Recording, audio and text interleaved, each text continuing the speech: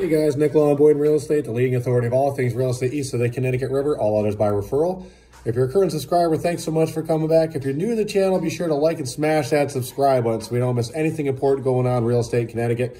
Help us reach our goal of at least 100 subscribers by the end of 2022, which is right around the corner. Here we are, getting right into it. Monday the 27th, right after Christmas, with New Year's right down the pipe.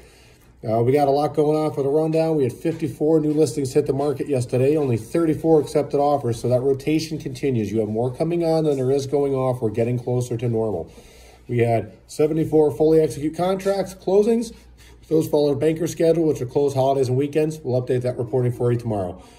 If it is your New Year's and your financial planning and your resolutions to make a move, or upgrade, downsize, or you're out of here, this is a great time of year and actually one of our busiest that I'm meeting my clients. My appointments are filling up like crazy.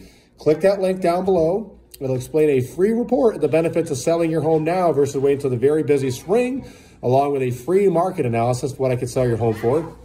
If you want to know the advantages to buy now versus waiting till the spring, there's a link for you there as well. Click that. You'll also get a free report on the advantages of buying now versus waiting till the very busy spring. If you're still confused, have questions after that, you can text me. We can uh, get together for a cup of coffee, or I can send you five or 10 minute Zoom link.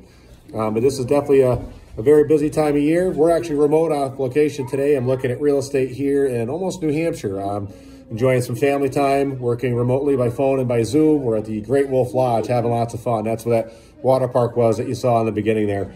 Um, so feel free to reach out to me. I'm, I'm looking for deals all the time, whether it's in Connecticut, uh, it's Miami, Vegas, or actually out here, it's, uh, I think, believe Fitchburg, Mass, right on the New Hampshire line that we're shopping around today. Um, so maybe not the Connecticut neighborhood, but I will see you around the neighborhood soon.